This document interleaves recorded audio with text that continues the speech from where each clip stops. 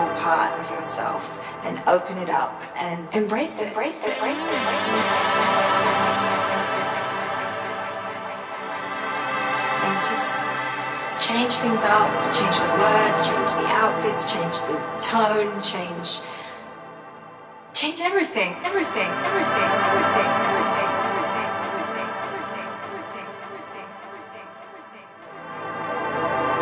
And I think everyone was up for that experience, and because I, I think we all knew we were doing things that we hadn't done before.